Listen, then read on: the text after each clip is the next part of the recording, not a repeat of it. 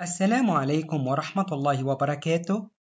ندرس اليوم بإذن الله شابتر 28 من مادة أساسيات الحاسب. هندرس النقاط الغير موجودة في السلايدات ونحل الأسئلة الخاصة بالكتاب. أول موضوع عندنا هو الإنفراستراكشر الخاصة بالإنترنت. قلنا إن الإنترنت مكونة من ثلاث عناصر. اللي هما السيرفرات اللي موجود عليها الملفات وبعدين ال client اللي هي أجهزتنا الشخصية واللي بتطلب خدمة من السيرفرات وأخيرا مجموعة البروتوكولات اللي بتخلي عملية ال communication أو الاتصال ما بين ال client وال server متاحة. فبيقول لي هنا لما أنت بتستخدم الكمبيوتر علشان تتوصل بالإنترنت فالكمبيوتر بتاعك هنسميه client ال client بيستخدم ال browser أو المتصفح علشان يطلب صفحة ويب أو web page من ال server. ال request بتاعك ده المفروض إنه بينتقل إلى موفر خدمة الإنترنت أو ال internet service provider من خلال البي أو بي أو ال point of presence ال ISP هيبعت ال request بتاعك إلى ال regional backbone ودي عبارة عن زي ال network فائقة السرعة بتوصل ما بين الشبكات وبعضها. المصطلح اللي بعد كده ال platform وده مقصود بيه منصة. لما يكون عندي جهاز كمبيوتر بيستخدم نوع معين من المعالجات أو ال processor و operating system محدد زي Intel based Windows PC فالمفروض إن دي بنسميها platform يعني مثلا أنا عندي جهاز Apple مع ال operating system الخاص ب Apple يبقى دي اسمها Apple platform لو أنا عندي كمبيوتر عادي مع operating system زي ال Windows 10 فده هنسميه Intel Windows PC كمان عندنا مصطلح ال cross platform وده فكرته إن ال software أو ال hardware ليه القدرة إن هو يشتغل بنفس الطريقة على أكتر من platform نوضح النقطة دي. لو إحنا دلوقتي رحنا نحمل أي برنامج من ال Google Play هتلاقيه يقولك البرنامج ده يشتغل على ال Android وفقط. طب أنا عايز برنامج يشتغل على اللي هو ال Apple. يبقى لازم تروح لل Apple Store وتحمل النسخة الخاصة بيه. هنا البرنامج بيشتغل على platform خاصة بيه وفقط. لكن في برامج زي البرامج المعمولة بلغة ال Java. البرامج دي عابرة لموضوع ال platform يعني cross platform ممكن يشتغل على ال Windows وعلى ال Linux وعلى ال Mac بنفس الكود ومن غير أي مشاكل. يبقى ال cross platform فكرته إنه عندك نفس البرنامج هيشتغل على أكتر من platform. فطبعا لما أنت بتستخدم الإنترنت أنا ما يهمنيش ال platform الخاصة بيك فتلاقي إن أنا بستخدم المتصفح علشان أدخل على ال web server سواء جهازي كان Windows ولا Linux ولا Android ولا iOS أو غيره. نيجي بعد كده لل domain name ال domain name هو عبارة عن جزء من ال URL أو عنوان الصفحة أو الموقع. فلو أنا كتبت www.seu.com.sa فالمفروض إن الجزئية دي هي ال domain name هنا بيقول لي إن كل كمبيوتر متوصل بالإنترنت المفروض إنه بيتم تمييزه وتعريفه ب IP خاص بيه.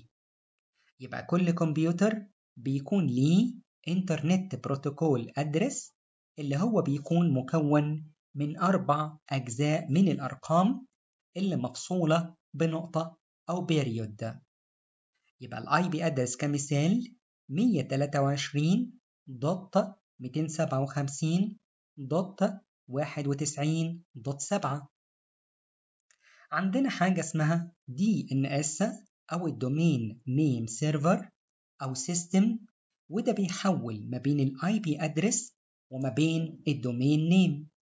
ال domain name اللي هو الشكل ده وده اللي إحنا بنستخدمه كأشخاص. لكن أجهزة الكمبيوتر ما بينها وبين بعض بتستخدم الأرقام. فعلشان نحول من ال domain name لل IP address والعكس مين اللي بيعمل العملية دي؟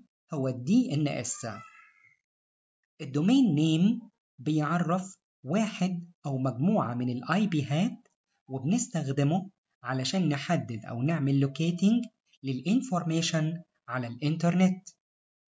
فعلى سبيل المثال زي ما قلنا فيه domain اسمه whitehouse.gov وده ال IP address بتاعه. زي ما قلنا ال domain name وال IP address الاتنين بيعرفوا نفس الكمبيوتر على الإنترنت طيب ال domain name system ده بيعمل إيه؟ بيعمل matching أو يطابق ال domain name مع ال IP address الخاص بيه. من أشهر الشركات اللي موجودة في أمريكا اللي هي ال InterNIC ودي من خلالها أنت بتحجز ال domain الخاص بيك. أو خلينا نقول إن هي organization بتحتوي على قاعدة بيانات بتشمل كل ال domain name اللي موجودة في ال United States النقطة اللي بعد كده هي ال whois database ودي عبارة عن central database أو قاعدة بيانات مركزية بتحتوي على معلومات عن ال domain names أو أسماء النطاقات. يعني مثلا إحنا عايزين نعرف مين صاحب الموقع اللي هو seu4u.com فمنروح لل whois database وبنكتب اسم الموقع ده أو ال domain name هيديني ال owner مالك الموقع ويديني معلومات عن ال server ات المرتبطة بال domain المحدد. النقطة اللي بعد كده هي ال SaaS أو ال software as a service. إحنا عندنا نمطين لاستخدام البرامج. أول حاجة إن أنا أروح أشتري البرنامج وأعمل له install على جهازي الشخصي وبعدين أستخدمه زي برنامج ال Microsoft Office العادي. النمط التاني إن أنا أروح أشتري اشتراك بيسمح لي إن أنا أشغل البرنامج اللي موجود على server من خلال الإنترنت وده اللي مستخدم مع ال Microsoft Office مثلا. النمط التاني بنسميه SaaS أو ال software as a service. يبقى بيقول إنه زمان كان الأشخاص والشركات بيشتروا ال software ويعملوا له install على أجهزتهم الشخصية أو الشبكات. لكن النمط الجديد دلوقتي إن ال application بيتم تخزينها على ال cloud servers وإن ال user ممكن ي access ال software ده من خلال الإنترنت. وبالتالي ال user مش هيشتري ال software لكن هيشتري subscription أو اشتراك يسمح له إن هو يدخل على ال server وي access ال software الطريقة دي بيسموها ال SaaS أو ال software as a service. نيجي بعد كده لل internet communities أو المجموعات اللي بيتم فيها تجميع ال user وإجراء نقاشات من خلال الإنترنت. أول حاجة عندنا ال Usenet وده عبارة عن discussion system أو نظام للنقاشات ال users ممكن ي access وا ال Usenet group من خلال الإنترنت. وكان بيحتوي على آلاف من المجموعات الإخبارية على مواضيع مختلفة. ممكن نلاقي newsgroup خاصة مثلا بزراعة الأرض و newsgroup خاصة بالرياضيات وهكذا. مصطلح تاني اللي هو ال IRC أو ال internet relay chat وده عبارة عن system لل chat ولكن مش منتشر قد كده. فبيقول لي هو عبارة عن internet service خدمة من خدمات الإنترنت اللي بتسمح لل user إن هم يشتركوا أو يدخلوا في مجموعة دردشة ال chat group ال group في برنامج IRC بيسموها channels وال channel دي ليها مواضيع مختلفة. في مواضيع دينية مواضيع ثقافية حاجات اختراق وغيره.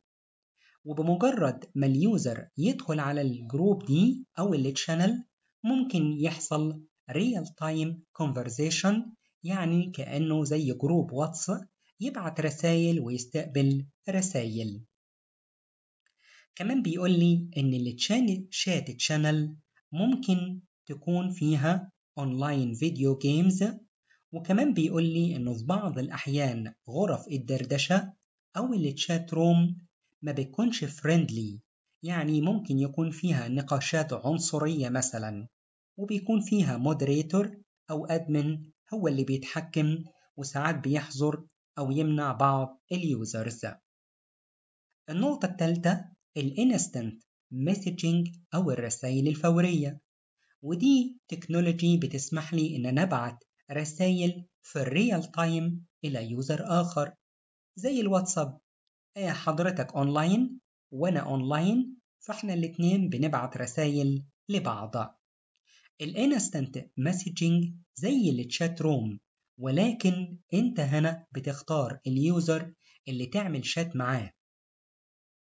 أمثلة برامج الدردشة الفورية أو التراسل الفوري اللي هو America Online Messenger وكمان ال ICQ وال Facebook Messenger نيجي بعد كده لل internet growth الفكرة كلها إنه الإنترنت بتكبر وبتزيد لأنه عدد ال users اللي موجودين عندي بيكتر وناس كتير بتستخدم الموبايلات وأجهزة التليفونات والأجهزة اللوحية علشان تدخل على الإنترنت.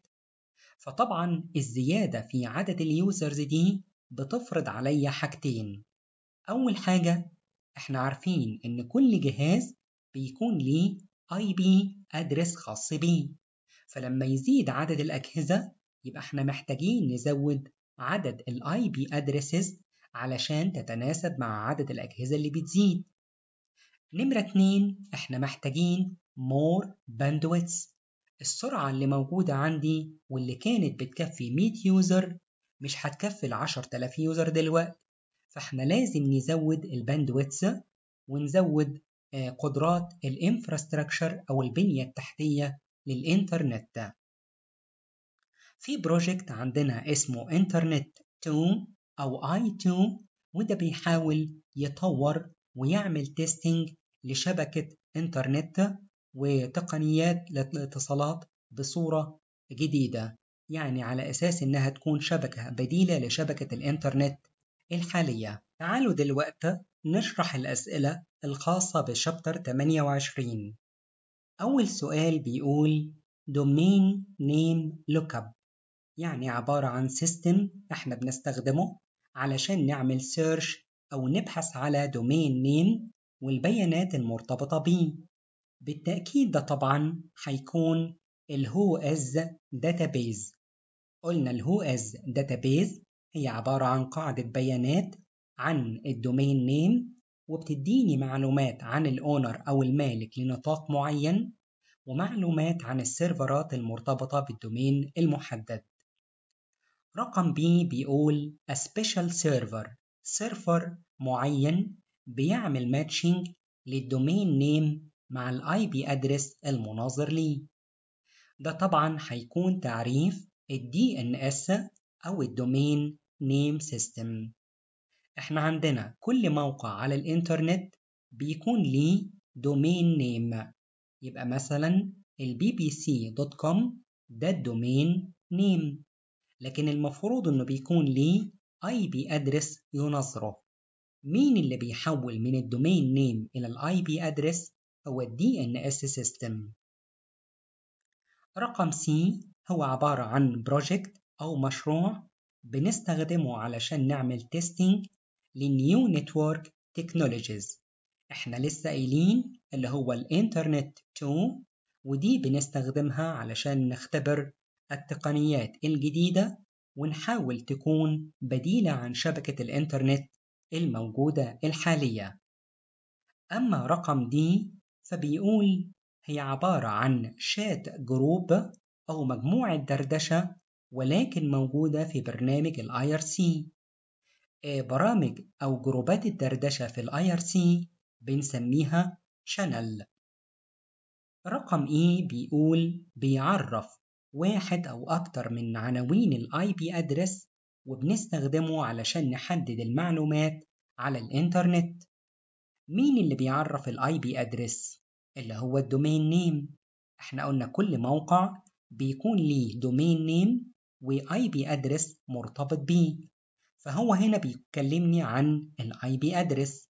يبقى المفروض إن اللي هيعرفه هو ال domain name رقم F Virtual Communities أو مجتمعات تخيلية بتوفر إمكانية التراسل الفوري في الوقت الفعلي أو الوقت الحقيقي.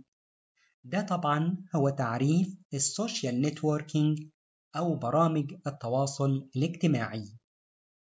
رقم G هي عبارة عن system مثلا وبيستضيف أو بيحتوي على آلاف من المجموعات الإخبارية أو ال newsgroup دي طبعا هي ال Usenet رقم H هو عبارة عن نوع من أجهزة الكمبيوتر اللي بيستخدم نوع معين من ال processors أو المعالجات وأنظمة التشغيل.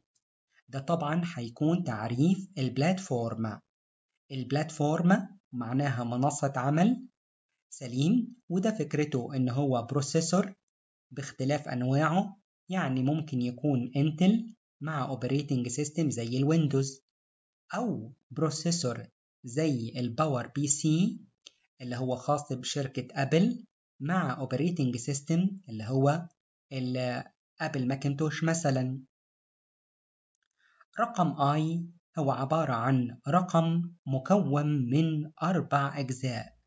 بتكون منفصلة عن بعضها بنقاط أو ضغطة وبيستخدم علشان يعرف الكمبيوتر اللي متوصل بالإنترنت. ده طبعا هو تعريف ال IP address. وكل جهاز بيكون ليه IP address خاص بيه رقم I هو عبارة عن web page يعني صفحة من صفحات الإنترنت اللي أي شخص ممكن يكتب أو يعدل المحتوى. ده طبعا هيكون تعريف الويكي. عارفين لو كان بيقول هي عبارة عن web page بحيث إنه only one person can write أو edit ال content كنا هنقول إن هي ال blog. أما الويكي لا. الويكي بيسمح لأكتر من شخص إن هم يعدلوا المحتوى. نيجي بعد كده لمجموعة الأسئلة إكمال الفراغات. فبيقول لي هنا بعد ما حضرتك بينبعت ال request أو طلب صفحة الويب لل ISP أو ال internet service provider point of presence اللي هي نقطة اتصال الشبكة بتاعتك مع الإنترنت فالمفروض إن الطلب ده بيروح لمين؟ لل regional backbone نمرة اتنين هو عبارة عن software أو hardware يا برنامج يا جهاز المفروض إن هو بيكون ليه القدرة إنه يشتغل في نفس الوقت على أكتر من platform يعني هو متعدد ال platform أو متعدد المنصات فعلشان كده بنسميه cross platform يعني عابر المنصات. كلمة platform عبارة عن processor زائد operating system يعني مثلا في برامج بتشتغل على اللينكس ما تشتغلش على الويندوز وبرامج تشتغل على الويندوز ما تشتغلش على اللينكس ده يشتغل على platform معين. أما لو في برنامج بيشتغل على كل ال operating system مثلا أو بعضها فإحنا بنقول إن هو cross platform نمرة اتنين هو جزء من ال domain وبيعرف نوع ال organization المسجلة في ال domain. نراجع كده ال domain كان بيبقى مكتوب www edu مثلا هنا seu وبعدين edu sa ال www وال seu وال edu ده كله اسمه domain name وال domain name آخره بيكون في ال top level domain وال top level domain دي بتحدد نوع ال organization هل هي educational حاجة تعليمية ولا حاجة تجارية commercial ولا حاجة uh, organization مثلا ولا حاجة military uh, عسكرية مثلا. والحرفين دول اللي هو SA بيحددوا ال country يبقى ال top level domain بيعرف نوع ال organization المسجلة مع ال domain رقم أربعة بيقول لي هي عبارة عن service أو organization بتحتوي على central database قاعدة بيانات مركزية لأسامي ال domain أو النطاقات الموجودة في أمريكا. ده طبعا كان تعريف ال InterNIC لما الجهاز بتاعي يتوصل بالإنترنت فالجهاز هيطلق عليه client إحنا قلنا الإنترنت مكونة من ثلاث حاجات اللي هي السيرفرات وال client وال protocols. مين هو اللي بيديك ال IP address لما أنت بتدخل على شبكة الانترنت أو اللي بيوفر لك ال IP address حتى لو انت على شبكة محلية اللي هو ال network administrator. يبقى ال administrator أو مدير الشبكة اللي انت متوصل بيها هو اللي بيديك ال IP address الخاص بيك. في حالة ال domain name system فكل name لازم يكون unique. يعني ما ينفعش يكون فيه موقعين ليهم نفس ال domain name.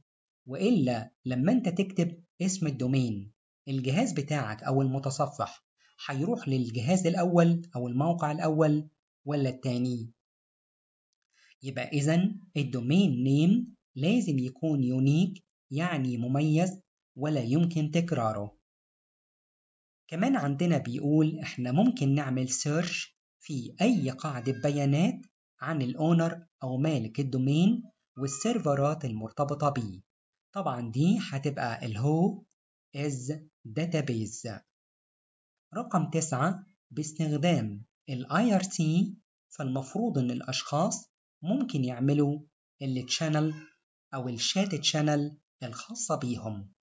خلي بالكم كلمة channel إحنا قلنا القناة أو الجروب في ال IRC بنسميها channel فعلشان كده أنا اخترت كلمة ال IRC لأنها مرتبطة بال channel كمان جاي بيقول إنه في المستقبل فإن الإنترنت محتاجة تزود ال bandwidth وكمان تcreate إيه؟ تزود عدد ال IP addresses نظرا لكبر عدد الأجهزة اللي إحنا محتاجين إنها تدخل على الإنترنت.